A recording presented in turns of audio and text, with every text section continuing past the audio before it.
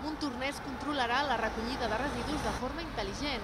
A través d'uns sensors a l'interior dels contenidors, l'Ajuntament coneixerà de manera telemàtica el volum de residus que contenen.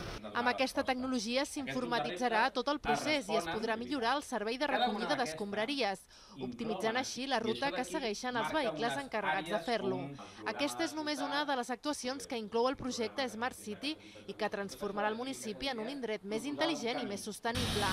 També dins l'àmbit de la mobilitat, l'Ajuntament vol aplicar l'ús de noves tecnologies per millorar la comunicació dels polígons industrials amb l'estació de Rodalies.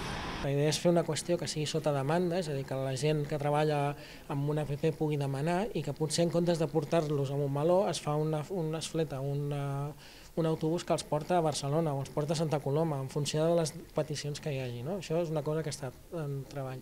L'altra opció és per la gent que ve amb, amb tren, doncs eh, hi ha empreses que ja estan també treballant una possibilitat de connectar-se amb bicicletes elèctriques. No?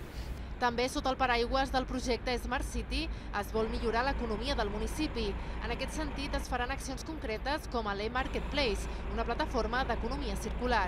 Que empreses trobin un espai comú, sigui virtual, sigui de trobada, sigui de posar doncs, recursos en comú, eh, posar doncs, espai d'estoc, eh, pensar relacions comercials entre les pròpies empreses, tot això també forma part d'aquesta ciutat intel·ligent. I poden ser aplicacions mòbils, poden ser eh, portals webs, poden ser l'1.0, que és la trobada personal, però al final tot això que estigui en una estratègia i en una lògica de, de desenvolupament sostenible i intel·ligent del municipi. Altres mesures que es plantegen és la instal·lació de panells informatius amb el nombre de places d'aparcament disponibles en els diferents pàrquings municipals.